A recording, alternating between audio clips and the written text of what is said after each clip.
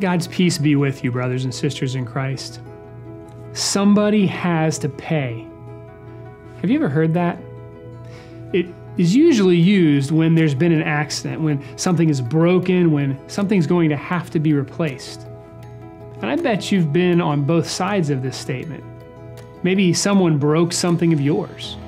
It could be a, a big thing or a little thing. But when it's been broken, it has to be replaced.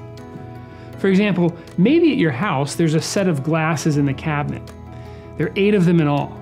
And when you eat with a family or guests, everyone has a matching glass. One morning, while unloading the dishwasher, one falls on the tile floor. Loud crash and shatters, just sprays glass everywhere. After the cleanup is finished, there's an empty spot in the cabinet. That is, unless someone replaces it. Unless someone pays for a new one, because then the next time guests come over, one of them is going to have to drink out of a different glass. You won't have a matching set anymore. Now, I know that it may seem silly to use drinking glasses as an example, but it illustrates a really important point. Something is broken in this world, something big, we talked about it just a couple days ago sin.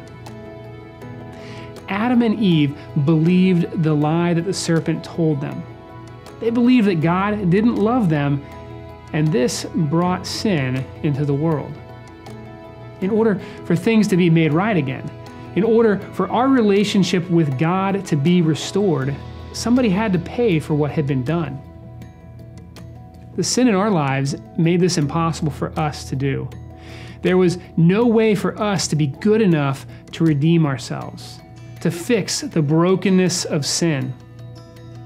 We needed a Redeemer to repair the brokenness. We needed the Savior of the whole world. The Redeemer would have to be one that was perfect, one that had no sin to pay for of his own. And so God came down from heaven and became man. This real man named Jesus walked the earth, the broken streets of the earth, without sin. And he went all the way to the cross, dying in our place, having no sin of his own, and rising from dead on that first Easter morning.